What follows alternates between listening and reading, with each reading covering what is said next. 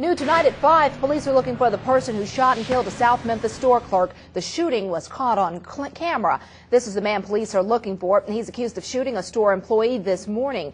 We're about to show you the store surveillance video, and I need to warn you here, it's pretty graphic, but you need to see this to see how brazen people can be. Chief Investigator Jenny DiPrizio spoke with investigators and the victim's friends about the South Memphis shooting.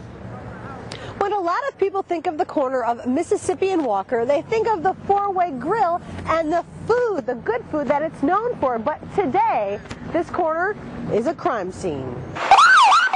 While investigators spent the day trying to track down who robbed and killed the clerk at Sam's Food Market early this morning, victims' friends remembered the 42-year-old. May God mercy his soul that he never had no problem with nobody. Laughs with everybody, jokes with everybody. But surveillance cameras from the store shows just how fast Ahmed Asati's life ended. On the tape, you can see the robber enter the store. He walks right up to the clerk and shoots him at close range.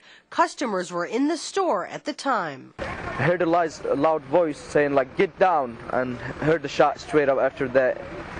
The guy didn't give my coworker no chance to do nothing. After shooting the clerk, the cold-blooded killer heads to the cash register and grabs some money. Moments later, another camera captures him running out of the store. These people, they, they just kill you for nothing. On the tape, it appears that the killer wore a mask on his face and was wearing gloves. Employees say the robber wearing the same disguise came to the store yesterday morning. He got scared when an employee spotted him and left the store. The victim's friends say police need to get such a violent man off the streets. I would hate that to happen to anyone else.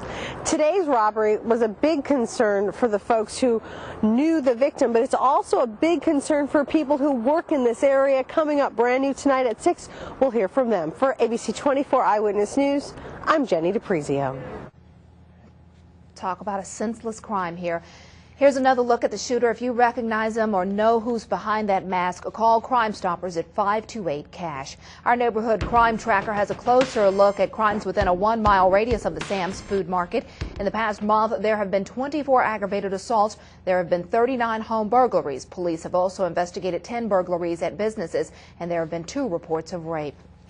Well, it's been a dangerous month for workers at local markets and convenience stores. Another deadly shooting was caught on camera, too. In this video, you can see a man walk in and kill the store's 68 year old owner. It happened at the Poly Market on Chelsea Avenue in North Memphis. Another employee was also shot in this robbery but survived. The day before that, a clerk was shot at a gas station on Getwell and Rains Road. It happened when crooks stormed in to rob the place. The clerk was shot after pressing a panic alarm. The accused robbers then got into a shootout with police. No one was hit. A getaway car was later found, but no one was arrested.